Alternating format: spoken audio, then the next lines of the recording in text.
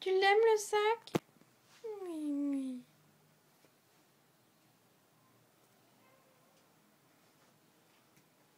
Ah, minou.